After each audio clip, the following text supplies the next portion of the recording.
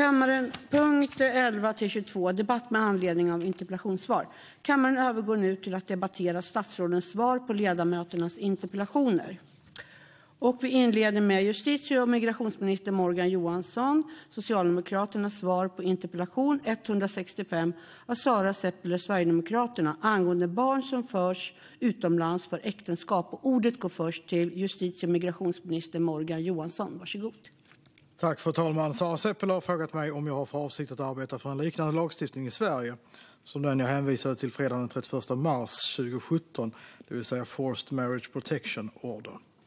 Hedersrelaterat våld och förtryck är ett samhällsproblem som orsakar stort fysiskt och psykiskt lidande och som är av yttersta vikt att samhället markerar kraft emot. Vi kan aldrig acceptera att människor inte själva får välja vem de ska gifta sig med eller att det ingås äktenskap med barn.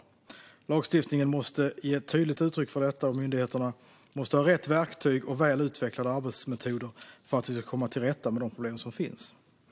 Sedan 2014 så finns det särskilda straffbestämmelser i brottsbalken om äktenskapstvång och vilseledande till, till tvångsäktenskapsresa.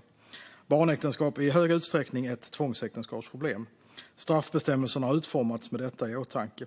Genom bland annat införandet av dessa straffbestämmelser så har en kraftig förstärkning av skyddet mot tvångs och barnäktenskap skett. Utredningen om starkare skydd mot barnäktenskap, tvångsäktenskap och brott med hedersmotiv redovisade sitt slutbetänkande i höstas. Utredningen lämnar förslag om införandet av en särskild straffbestämmelse om ett barnäktenskapsbrott. Utredningen bedömer att ett särskilt barnäktenskapsbrott skulle ge ett tydligt besked från lagstiftarens sida om att barnäktenskap inte kan tolereras. När det gäller möjligheten att förhindra utresa för barn som riskerar att utsättas för äktenskapstvång så har utredaren analyserat det engelska systemet. Utredningen anser att det finns ett behov av att, i skyddande syfte, kunna inskränka möjligheten att resa utomlands för barn som riskerar att föras ut ur landet för att ingå äktenskap eller äktenskapsliknande förbindelser eller utsättas för könsstympning. Utredningen föreslår därför att ett utreseförbud bör införas i lagen med särskilda bestämmelser om vård av unga. För att vara effektivt bör ett sådant utreseförbud vara straffsanktionerat och medföra inskränkning av möjligheten att erhålla och inneha pass. Utredningen föreslår dels att den som för ut ett barn ur Sverige i strid med ett utreseförbud eller främjar att ett barn reser utomlands i strid med ett sådant förbud ska dömas till böter eller fängelse i högst ett år. Dels att passhinder och skäl för passåterkallelse ska uppstå för ett barn som har meddelats ett utreseförbud. De föreslagna ändringarna i passlagen medför även att pass ska kunna omhändertas och spärras i dessa situationer. Utredningens betänkande har varit på remiss. Remisstiden gick ut den 28 maj 2019. Regeringen kommer nu att gå igenom remissinstansernas synpunkter och därefter ta ställning till det samlade beredningsunderlaget. Tack för talman.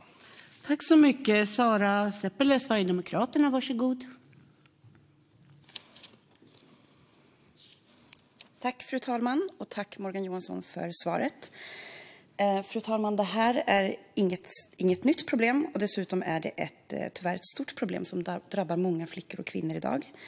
Eh, jag har själv växt upp med ehm, en bakgrund med det här eh, och jag har fått uppleva att människor i min närhet har utsatts för mer eller mindre påtvingade äktenskap. Jag växte upp i Stockholms förort med en kurdisk pappa. Jag fick se detta runt om mig i vårt svenska samhälle och upplevde på nära håll hur flickor försvann och tvingades, eller tvingades ingå i äktenskap som de själva inte har valt. Flickor som litade på sin familj, som behövde stöd och kärlek från sina anhöriga men som istället tvingades in i äktenskap mot sin egen vilja och utsattes för övergrepp. Flickor som utsattes för fruktansvärda handlingar som ett barn inte ska behöva genomlida. Fru talman! Det är fruktansvärt att se hur man kan behandla barn som om det vore ens egna ägodelar. Och det gör ont i mitt hjärta att detta sker i Sverige. Det är märkligt att man 2019 fortfarande inte har en lag som gör det straffbart att vara gift med ett barn. Och självklart ska man som föräldrar som, ska, självklart ska föräldrar som för ut barn, eh, flickor från Sverige för att gifta bort dem i andra länder straffas hårt för det här. När jag nu lyssnar på Morgan Johanssons svar så blir jag bekymrad över att statsrådet snarast verkar vilja skjuta upp lagstiftningen så, att, så länge som möjligt och dessutom är det ett urvattnat förslag som nu skickas på remiss. I mars 2017 så svarade Morgan Johansson om fem års fängelse för den som inte berättar vad deras dotter är. Och nu är det plötsligt förvandlats till bötesstraff och möjligen upp till ett års fängelse. som mest ett straffvärde som är lägre än hälften av vad det är för misshandel eller stöld som ligger långt, långt under de tre år som ett, ska vara minimistraff för våldtäkt. Och det är trots att unga flickor gifts bort mot sin vilja.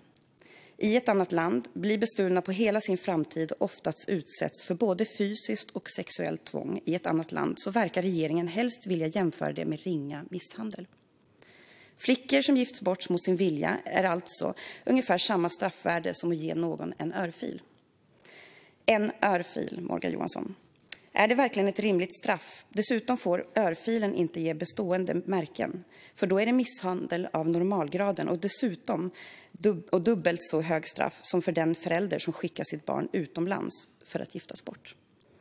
Unga invandrarflickors liv verkar helt enkelt inte ha något värde, eh, högt värde enligt regeringen, som gärna kallar sig själv feministisk men som nu, när det verkligen gäller, inte vill agera och än mindre stå upp för unga flickors rättigheter.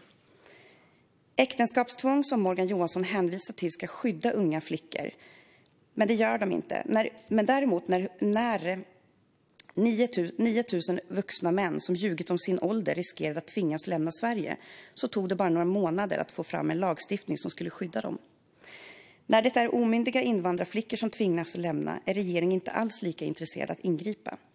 Så jag skulle vilja fråga Morgan Johansson vad detta ointresse beror på. Är det för att det är omyndiga barn som det handlar om eller är det kanske för att det är flickor och inte pojkar?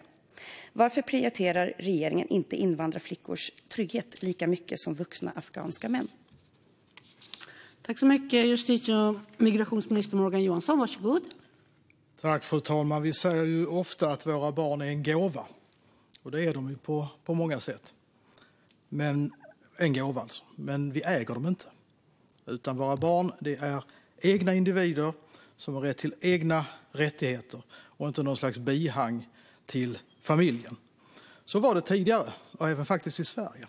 En gammeldags liksom konservativ hållning som gick ut på att att barnen på något sätt var, en del, var en, ett bihang till, till familjen där familjen också faktiskt hade inflytande över vem det var som gifte sig med, med vem. Man skulle ibland para ihop så kallade fina familjer med varandra. Det förekom faktiskt också i vårt land. Det där har vi brutit med.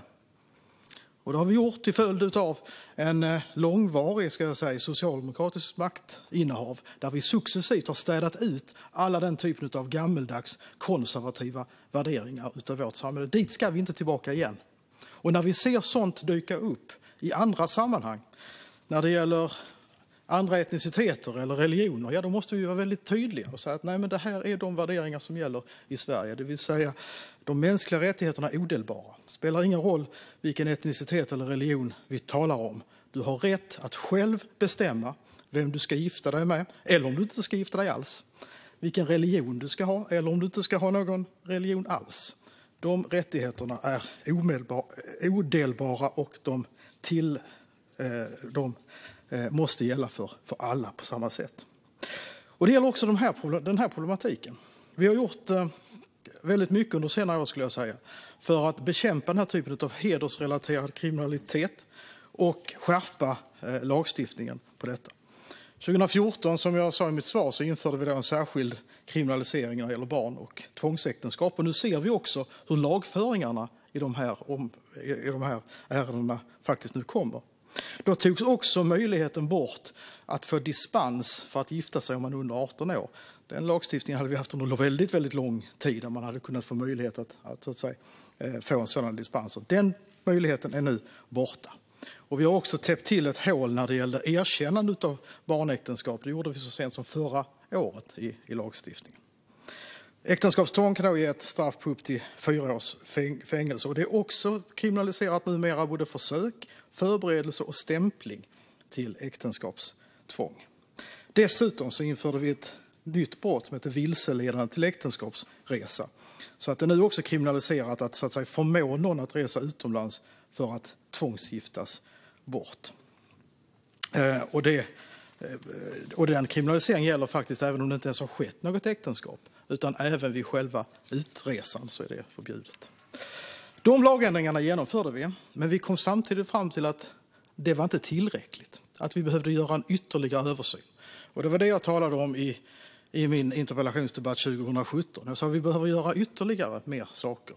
se på hur andra länder hanterar detta. Och därför så tillsatte vi en sån översyn med ett antal som nu har lämnat ett, ett antal lagförslag. Bland annat om möjligheten att, att eh, spärra pass och att belägga människor med, eller barn eh, med, i de här fallen som riskerar detta, med utreseförbud. Och då kriminaliserar vi också de som bryter mot det utreseförbudet. Där har vi bland annat tittat på det brittiska systemet. Vad gäller övrigt och, kring straffskalorna så ska man ju då veta att när Sara Seppälä talar om straffskalor här då, då ska man ju veta att alla, allt sexuellt utnyttjande, all våldtäkt mot barn, allt som har med detta att, att göra är ju kriminaliserat sedan lång tid tillbaka med rejäla straffskalor. Jag var faktiskt själv med om att införa den särskilda lagrummet när det gäller våldtäkt mot barn med en rejäl straffskala. Så det eh, där lägger vi inte fingrarna emellan när det gäller att bekämpa den typen av sexuellt utnyttjande. Tack så mycket. Tack. Tack. Tack för det. Sara Seppälä, Sverigedemokraterna, varsågod. Eh, tack, fru talman. Eh, jag känner inte att Morgan Johansson svarar riktigt på varför regeringen anser att invandrarflickors liv är så mycket mindre värt, mindre viktigt eh, än det här. Och faktum kvarstår att regeringen faktiskt föreslår att straffvärdet för att gifta bort sin underåriga dotter i ett annat land och sedan vägra uppge för myndigheterna vad som har hänt är att jämföra med att ge någon en örfil. Eh, Morgan Johansson, att ta ifrån en liten flicka hela hennes liv och hela hennes framtid är alltså knappast straffbart. Det är bötestraff och det är maximalt upp till ett års fängelse medan en misshandel ger upp till två års fängelse. Och alltså enligt regeringen är dubbelt så hemskt som att gifta bort sitt barn i ett annat land. Fru talman, så här inför sommaren så är det tyvärr många barn som kanske inte kommer tillbaka efter sommarlovet. Med tanke på det, att detta är ett problem under många år, så kan man inte låta bli att ifrågasätta regeringens passivitet. Redan 2017 så sa Morgan Johansson att han ville införa en lag som ställer krav på föräldrar och släktingar att berätta var deras unga flickor är någonstans.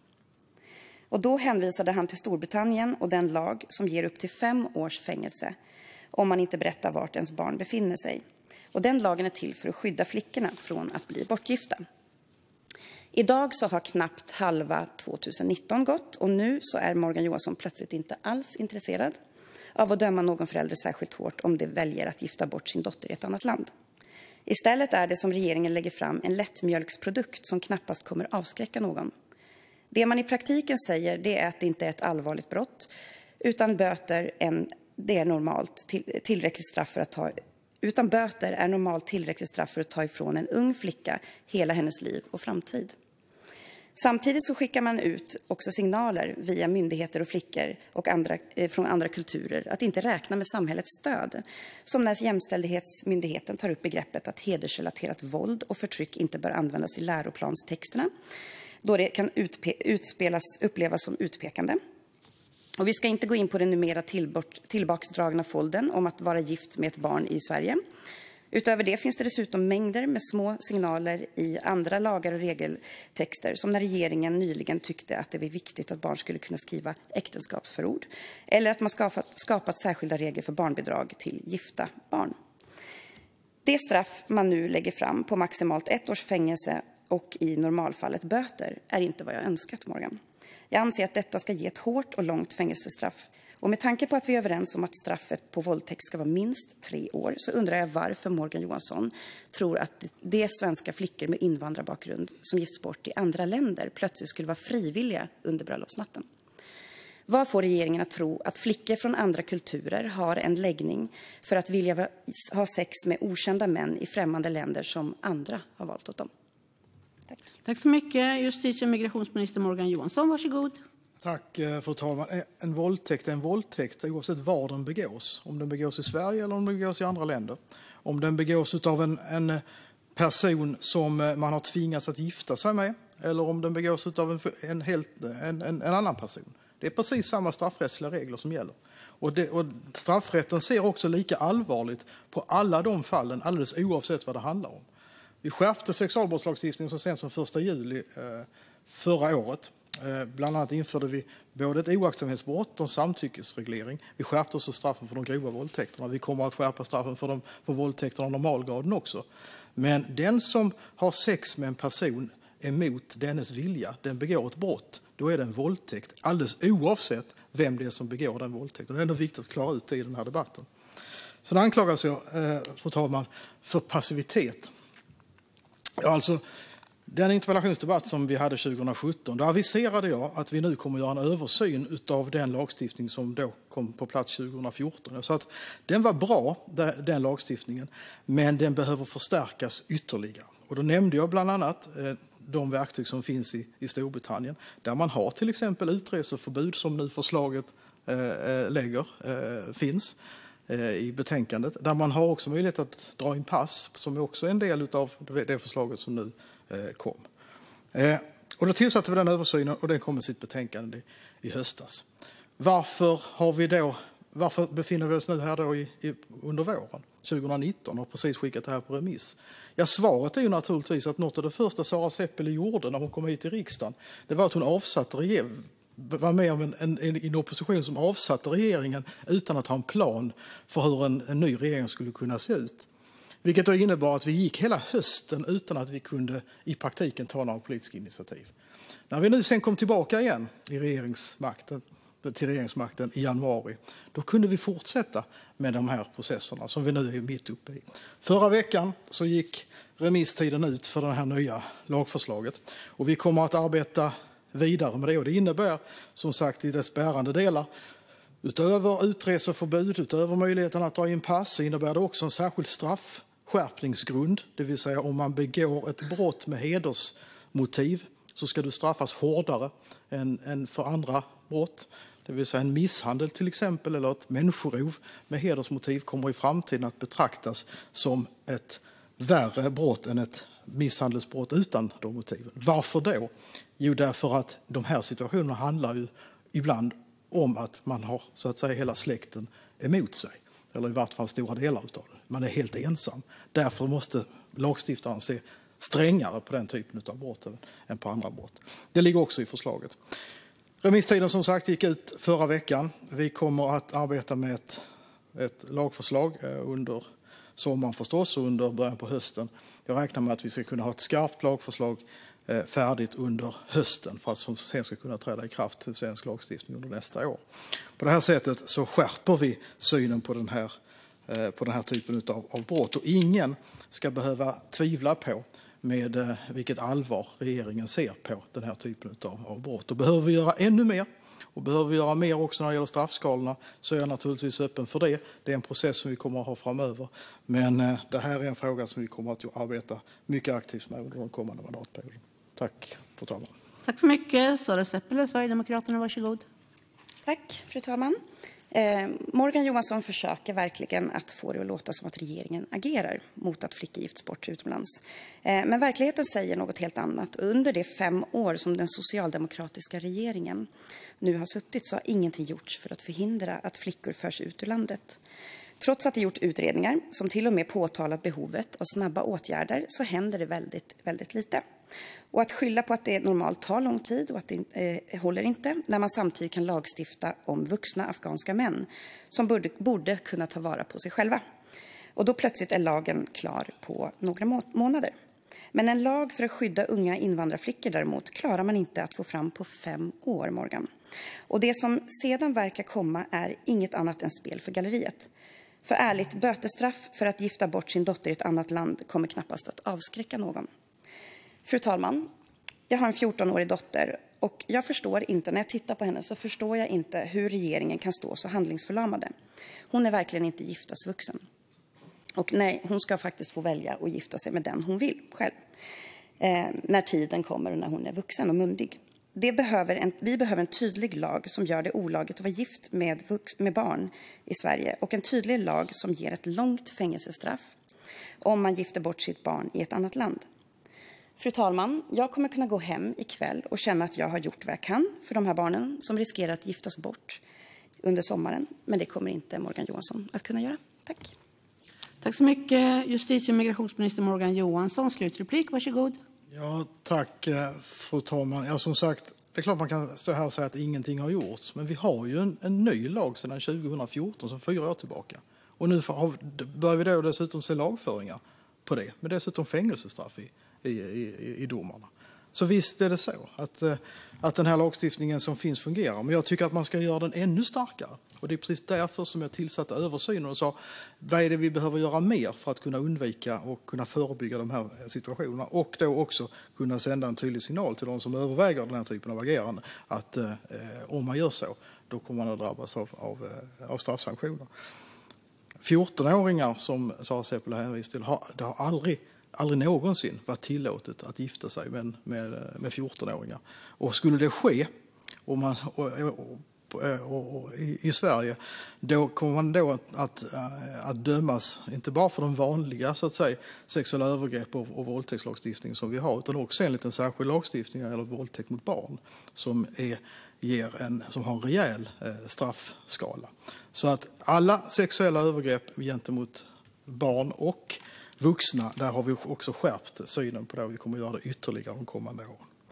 Eh, utöver det som eh, vi talar om här när det gäller straffrätten så tycker jag också att man ska nämna bara det som vi har gjort i övrigt för att förebygga. Vi har sett till att kvinnor och tjejjourer nu har mer pengar att röra sig med än någonsin tidigare, vilket innebär att det är större möjligheter för den som utsätts för olika typer av förtryck eller mäns våld mot kvinnor, alldeles oavsett vilken etnicitet det handlar om, nu har bättre möjligheter att faktiskt få ett konkret skydd. Vi går också in med ytterligare pengar till Utrikesdepartementet för att kunna bli bättre på både att förebygga att, barn förs ut ur Sverige men också hjälpa till om de väl har blivit utresta ur Sverige att helt enkelt få hem dem igen. Så fru talman, det här kommer vi att eh, fortsätta att arbeta med väldigt aktivt under den kommande mandatperioden. Det är en av våra högprioriterade frågor. Tack. Tack så mycket för det. Och därmed var debatten med anledning av interpellation 165 av Sara Seppälä, Sverigedemokraterna, angående barn som förs utomlands för äktenskap avslutad.